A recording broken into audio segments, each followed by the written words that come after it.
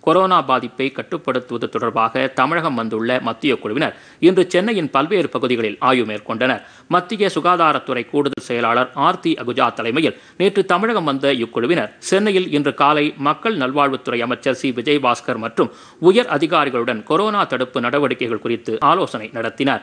தமிழகத்திற்கான மத்திய அரசின் கொரோனா கண்காணிப்பு அதிகாரி ராஜேந்திர ரத்னு சுகாதாரத்துறை செயலாளர் ஜே. ராதாகிருஷ்ணன் உள்ளிட்ட அதிகாரிகளும் இந்த ஆலோசனையில் கலந்து கொண்டனர். பின்னர் மத்திய குழுவினர் ஓமந்தூரார் அரசினர் தோட்டத்தில் உள்ள பன்னோக்கு சிறப்பு மருத்துவமனையில் அளிக்கப்பட்டு வரும் சிகிச்சை விவரங்களை நேரில் சென்று ஆய்வு செய்து கேட்டறிந்தனர்.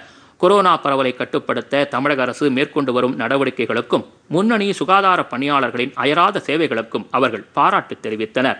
அதன் பிறகு சென்னை மாநகராட்சி ஆணையர் பிரகாஷ் உள்ளிட்ட அதிகாரிகளுடனும் மத்திய குழுவினர் ஆலோசனை மேற்கொண்டனர்.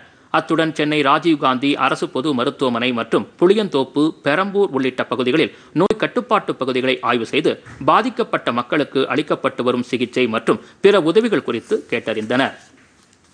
பொதிகை செய்திகளை யூடியூபில் தமிழ் நியூஸ் தூர்தர்ஷன் என்ற சேனலிலும் முகநூலில் டிடி பொதிகை நியூஸ் என்ற பக்கத்திலும் ட்விட்டரில் டிடி நியூஸ் சென்னை என்ற பக்கத்திலும் இன்ஸ்டாகிராமில் டிடி பொதிகை நியூஸ் என்ற பக்கத்திலும் காணலாம்.